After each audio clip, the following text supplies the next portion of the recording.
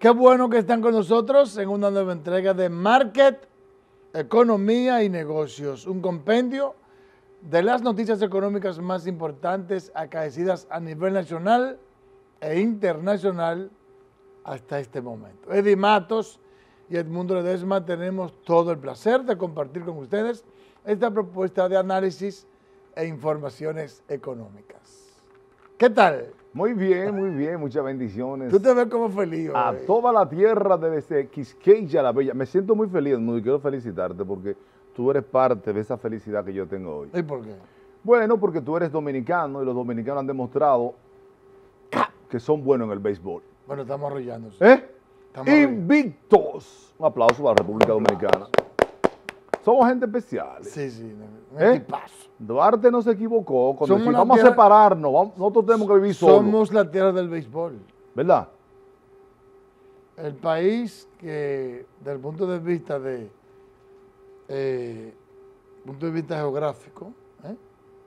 más mayor eh, cantidad de peloteros de grandes ligas y superestrella en grandes ligas tiene en la República Dominicana.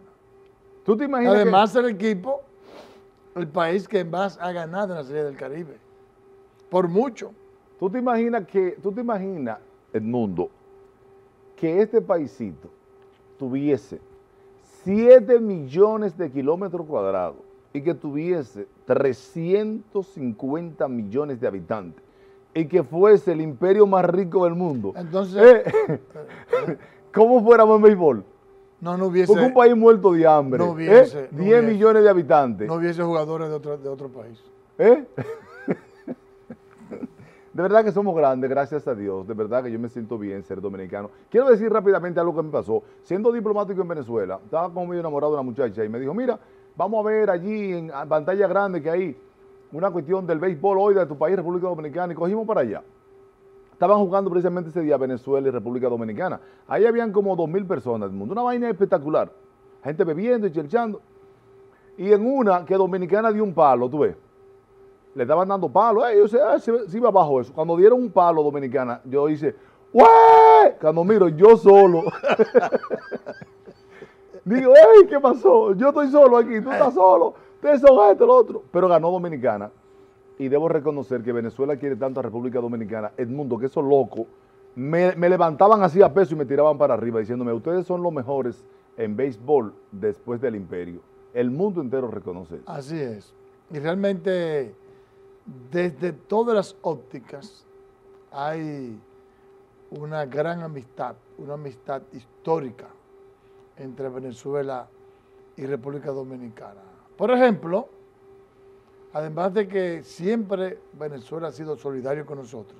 De manera muy particular, si en el 2007, cuando explotó la crisis financiera internacional en Estados Unidos, que creó una crisis mundial solo comparada con la crisis del 1930, del CRAP del 1930, a nivel de la profundidad que tenía y la que tiene ahora el COVID. Pero en el 2000 7, que el petróleo se puso a 150 el barril, si nosotros no tenemos la solidaridad que tuvo Venezuela con toda América Latina y Petrocaribe, ¿qué hubiese pasado de la República Dominicana y el continente completo, exceptuando los Estados Unidos? Pero tú sabes quién no hubiese puede sido una hecatombe económica. Así es. ¿Quién no puede ser un buen pelotero? Un vago. No. No, porque es que los peloteros trabajan mucho, mucha disciplina, mucha organización. Entonces el vago no tendría las condiciones ni siquiera para levantar un bate. Tú debes, tú debes el, mandamiento número... Número 9. 9. Dice así el vago, por eso te digo que los vagos no pueden ser peloteros. El vago dice, si el trabajo enriquecen, que trabajen los pobres. Pero no doble el lomo. Mira, el presidente Luis Abinader y dejó iniciado la segunda fase del proyecto de viviendas Ciudad Alto de Rivera en la marginal del kilómetro 22 de las Américas con una inversión que será de 2.300 millones de pesos con la intención de construir 1.168 apartamentos. Tenemos una historia de Edwin de la Cruz. Ciertamente el presidente Luis Abinader dejó iniciada la segunda fase del proyecto de vivienda Ciudad Altos de la Riviera en el kilómetro 22 de la Marginal de las Américas, donde se construirán unas 1.168 viviendas económicas, las cuales serán construidas por Copemicón. Aquí el presidente Luis Abinader reiteró que el acceso a la vivienda es una prioridad de la gestión que preside. Como ustedes saben, el acceso a la vivienda es un tema que es prioridad para este gobierno. Es una política de Estado que estamos determinados a potencializar en todos los niveles. No podemos olvidar por más tiempo que nuestra constitución manda al gobierno a facilitar y garantizar las condiciones de acceso a todos los dominicanos a una vivienda digna. El presidente de la República dijo que el proyecto tiene una inversión de 2.300 millones de pesos, al tiempo que reiteró su respaldo a las MIPIMES de la construcción. Para poner en marcha un proyecto que permitirá la construcción de 1.168 apartamentos en ocho fases para empleados con ingresos medios y también bajos, y que cuenta con una inversión de 2.362 millones, que generará entre empleos directos, indirectos, y beneficiarios con un impacto positivo a más de 33 mil personas. De su lado, el presidente de Copemicón, Eliseo Christopher, señaló que es un proyecto del programa Fideicomiso Copemicón que contempla la integración de las MIPIMES constructoras en el desarrollo de viviendas de bajo costo. Es un proyecto de nuestro programa Fideicomiso Copemicón, iniciado en el año 2016 y contempla la integración de las MIPIMES constructoras en el desarrollo de vivienda de bajo costo bajo el amparo de la ley 189.11 para el desarrollo del mercado hipotecario y de fideicomiso de la República Dominicana. También el presidente de la Federación Dominicana de Comerciantes, Iván García, saluda la iniciativa. Estamos completamente felices porque el presidente ya tiene un primer proyecto para él inaugurar este año lo que es vivienda feliz. Porque este es un proyecto que ya está concebido, que ya se inició. El proyecto de vivienda se ejecutará con una inversión de 2.300 millones de pesos. Gracias, don Edwin de la Cruz. En ese tenor, pero desde otra perspectiva, el viceministro de Desarrollo Social aseguró que el plan de vivienda Familia Feliz será construido en un 100% por los profesionales del Colegio Dominicano de Ingenieros, Arquitectos y Agrimensores CODIA manifestó que la participación del gobierno se basará en facilitador de las viviendas para los dominicanos. Mas si el Genao nos cuenta más. Los apartamentos que anunció el gobierno en el Plan Nacional de Vivienda Familia Feliz serán construidos por los profesionales que integran el Colegio Dominicano de Ingenieros, Arquitectos y Agrimensores en su totalidad. La información la ofreció el viceministro de Desarrollo Social, Jaime Oscar González, en la presentación del plan, donde enfatizó que el gobierno solo servirá de facilitador para el acceso de los dominicanos a estas viviendas participación de los ingenieros y arquitectos del país es 100%. El Estado no va a construir viviendas. El sector privado, los ingenieros independientes, son los que harán la realidad del pueblo dominicano. El CODIA deberá construir 11.000 nuevas viviendas en el primer año de su implementación y otras 17.000 en los años siguientes. A los honorables miembros de la Asamblea de Representantes de las regionales, delegaciones, darles las gracias por estar aquí con nosotros, acudir a este importante llamado, donde el día de hoy a través del Ministerio de la Presidencia se va a presentar al país a todos los colegiados este importante programa nacional de construcción de viviendas.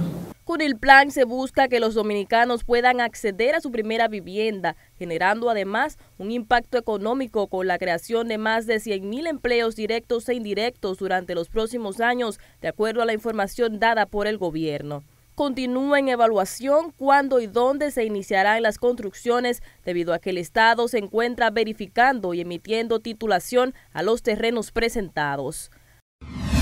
Gracias a Maciel. Lo cierto es que en estos días vi hablando sobre ese tema de la vivienda, el déficit de viviendas que tiene la República Dominicana al ministro de la presidencia, Lisandro Macarrulla, y hay un estudio que dice que está cerca de los 2 millones el déficit habitacional, lo que implica que hay una deuda social en ese sentido terrible, y mucho más si la Constitución establece que es un derecho del ciudadano tener una vivienda propia. Eso quiere decir que el Estado Dominicano no le ha cumplido en ese mandato constitucional. Entonces hay que empezar a pagar, crear las condiciones para ver cómo se va disminuyendo, eh, digamos, de manera eh, eh, consistente esa,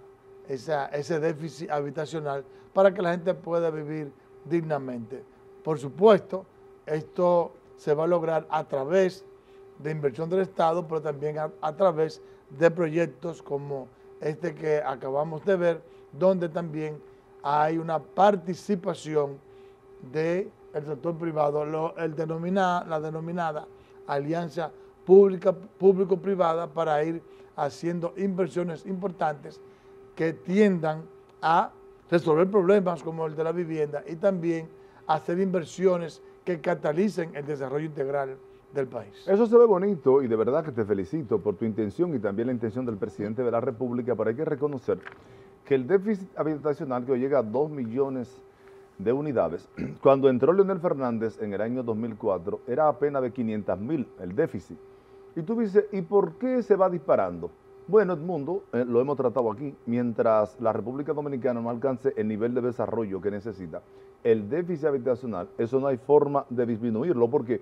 Porque son más los jóvenes y la familia que hacen vida aparte de la casa de sus padres. Entonces, no hay posibilidad de que en países tan pobres eso se pueda suplir. Ahora, hay que seguir construyendo, pero la demanda diario es mucho mayor, mucho mayor, creo que cuatro veces según el Banco Central, de la vivienda que construye tanto el sector privado como el público. Es decir, que eso no es tan fácil, pero seguir construyendo alivia, alivia, como una aspirina, pero no pero recuerda... Una cirugía para un cáncer pero recuerda, tú hablas, de, tú hablas de desarrollo económico y de crecimiento económico, pero que precisamente, recuerda que lo hemos hablado aquí, que la construcción junto al turismo son los dos subsectores de la economía que más impactan en el crecimiento y que más crean cadenas de riqueza. Eso quiere decir que si hay una agresión, incluso, te dije en un momento, que hubo un estudio, un libro que yo leí de Temístocles Montán, bien interesante, hablando de qué debe hacer la República Dominicana. Te recuerdas que Temístocles Montaz fue el que encabezó la, todo el proceso de ejecución, planificación y presentación de la Estrategia Nacional de Desarrollo. Entonces él tiene datos, estudios fidedignos que te hablan de las posibilidades que tiene la República Dominicana de crecimiento. Y él en ese libro dice que es fundamental, fundamental, que la República Dominicana tenga, no recuerdo el porcentaje, pero una alta inversión en construcción.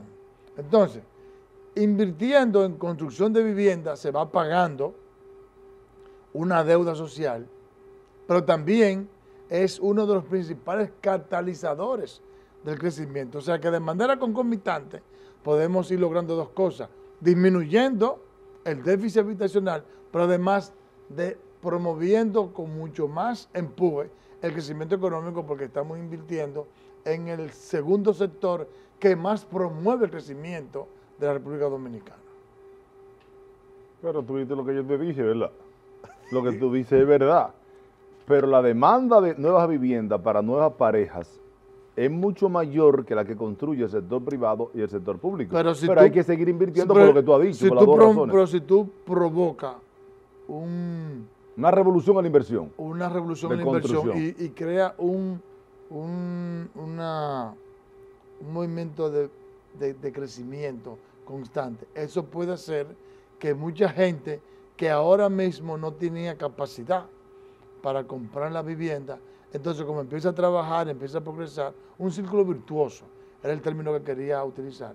Si tú creas ese círculo virtuoso de crecimiento constante y de construcción constante, tú puedes lograr que haya, que más gente empiece a trabajar más de lo que está estipulado y que tenga más capacidad de acceder a una vivienda y así se agilice el proceso de disminución del déficit habitacional.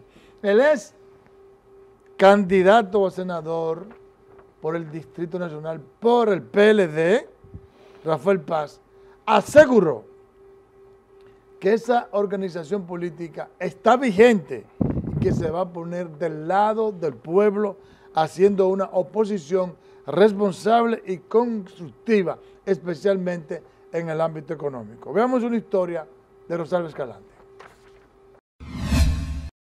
El aspirante a la Secretaría General del Partido de la Liberación Dominicana, Rafael Paz, precisó que al igual que en otros contextos, en el momento en que se vaya a realizar la demandada reforma tributaria, el PLD estará al lado del pueblo para que no se lacere el bolsillo de los pobres. Se habla de que pronto iniciaremos la discusión de una reforma tributaria y el PLD estará al lado del pueblo para garantizar que sus bolsillos no sean exprimidos en función del interés coyuntural de un gobierno.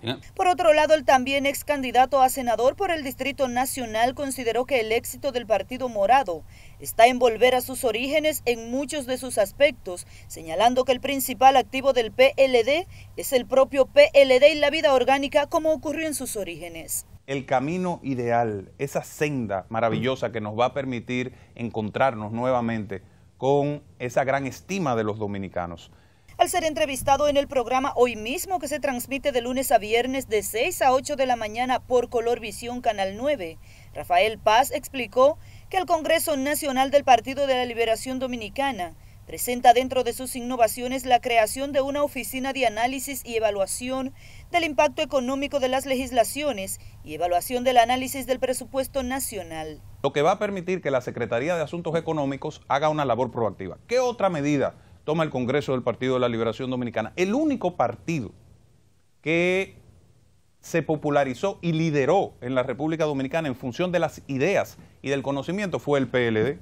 Los PLDistas conquistaban a sus simpatizantes a través del órgano de comunicación del partido. Paz informó además que el partido está creando un centro de gobierno y un instituto de formación política para convertir la Casa Nacional del PLD en un centro de conferencias internacionales, de debates y de simposios que permitan no solo crecer en cantidad de membresía, sino también en calidad de su militancia. Muchas gracias, Rosalba Escalante. Revertir la informalidad en el mercado laboral, superar los retos jurídicos y repensar de manera profunda la política social en la República Dominicana son parte de los desafíos para que las personas trabajadoras tengan mayor acceso a una protección social de mayor calidad. Así lo expuso Santiago Levy, asesor regional del Programa de las Naciones Unidas para el Desarrollo PNUD, durante el panel sobre protección social en América Latina y el Caribe, avances y retos en su institucionalidad al considerar el texto de COVID-19. El economista y especialista en políticas públicas indicó que es necesario estudiar la experiencia de la República Dominicana en las últimas dos décadas para entender por qué ha persistido la informalidad en el mercado laboral y establecer qué cambios se requieren para implementar acciones que permitan el acceso a una protección social de mayor calidad para las personas trabajadoras, así como a empleos de mayor productividad. Según el experto en la República Dominicana, hay más trabajadores informales no pobres que pobres, por lo que es un error confundir la informalidad con la pobreza y que mientras persista la informalidad en el empleo, la protección social en la República Dominicana va a seguir siendo precaria. Precisamente, qué interesante. en las ¿eh? declaraciones que dio Rafael Paz, dijo que el PLD va a estar del lado del pueblo protegiendo para que cuando se haga el pacto fiscal no sea para afectar ¿eh? al empleado y a la gente pobre. Pero yo pienso que precisamente a través del pacto fiscal, a través de ese pacto tributario, se pueden crear las condiciones para que la gente se estimule a formalizarse. Porque si la gente no se formaliza, no está en el sistema. Pero aparte de eso, si la gente no se formaliza, no paga los impuestos adecuados y el gobierno no recibe los, los recursos adecuados para, para crear ese sistema de protección social. No cabe duda que independientemente de, eso que está explicando el experto, hay que hablar de la ley 87-01. Porque por más cuento que haga Kirsi Jaques y los representantes de las ARS y de las AFP, no cabe duda que el sistema, el sistema de pensiones, el sistema de seguridad social de la República Dominicana es leonino, por no decir ladronino. Es más pensando en el beneficio económico del sector financiero que en el bienestar, en la salud de la gente y en asegurarle una pensión digna a la gente dentro de un tiempo cuando se empiece a retirar y se empiece a pensionar. Por eso es que, lo he dicho aquí varias veces, el economista, premio Nobel Joseph Stiglitz, ha dicho en varias ocasiones que las AFP y las ARS se han constituido en una especie de estafa, que es mejor que la eliminen si no se modifican adecuadamente. Miren, ese tenor, concatenando con el experto del PNUD, Rafael Levis, yo creo que es interesante, Edmundo, que en la reforma fiscal se pondere esto que él ha dicho. La gente, yo mismo entendía, y mucha gente lo entiende, que cuando se habla de informalidad, se habla de pobreza. Y dice él que no, que la mayoría de esos negocios informales que no contribuyen al fisco, señores, no son gente pobre, son gente de clase media. No. ¿Qué es lo que hay que hacer entonces? Formalizar a todo el mundo, porque es como dicen, Ah, desde que hay un impuesto a lo que están pagando, como pasa con la energía eléctrica, que aquí hay como un millón de gente que no paga energía eléctrica, cuando hay que aumentar las recaudaciones, ¿qué es lo que hacen? Recargarle al mundo Ledesma y a Eddie Matos. Así no puede ser. A mí, me ha masacrado. Que, metan ahí a la gente que no está pagando, que pague algo, ¿verdad? No, pero eh, tiene que haber, por, por supuesto, por eso es importantísima esa discusión, tiene que haber un sistema, primero, que no sea tan difícil pagar los impuestos porque hay que ser un genio. Tú tienes que pagarle obligatoriamente a un contador porque tú no entiendes eso. Entonces hay que simplificarlo. No le quiero quitar el ochelito a los contadores, pero hay que hacerlo menos complejo. Que se pague menos, pero que pague todo el mundo. Porque si tú pagas menos, pero pague todo el mundo, como que el Estado recauda más. Así es. El ministro de Agricultura, Limber Cruz, logró un acuerdo con procesadores industriales y cultivadores de tomate que permite garantizar la producción y establecer precios justos al quintal del producto. El pacto fue firmado por el ministro Cruz, el presidente de la Asociación de Fabricantes de Conservas de Agro, Félix García Castellano, y el presidente de la Federación Mamatingó, Luis Emilio Cabrera. Este gobierno está decidido y comprometido con este tipo de actividades que lo único que hacen es ganar, ganar todo el mundo, creación de empleo, valor agregado, industrialización de los productos que ustedes pueden estar seguros de que nosotros vamos a llegar con la mano amiga del Ministerio de Agricultura para todo lo que está ahí consignado en ese documento, nosotros llevarlo al pie de la letra. Porque se trata de una, de una actividad sumamente importante. La razón principal es para defenderlos a ustedes y para que el país tenga suficiente pasta de tomate. E, eso es lo que dice eso. Y nosotros nos garantizamos de financiarlos a ustedes, pero ahora el agrícola lo, lo está haciendo a través de nosotros. Tasa cero. El acuerdo cubrirá cuatro cosechas y tendrá una vigencia de cuatro años. Establece que los precios se podrán revisar cada mes de julio. El doctor Peña Gómez dijo que Juan Bosch le dijo, si tú quieres ser un gran profesional de la política, de la economía y del saber, tienes que estudiar diariamente el diccionario. Por eso nosotros nos vamos con el diccionario económico. Jennifer Peña. Burguesía término que suele asociarse al marxismo y que se usa para descubrir a los propietarios de medios de producción o en términos capitalistas las clases altas y media. Si bien este término puede emplearse en diversos rangos de matrices de la filosofía política, económica, social e historia, el término así como la clase social a la cual hace referencia ha variado con el tiempo desde su aparición a finales de la Edad Media.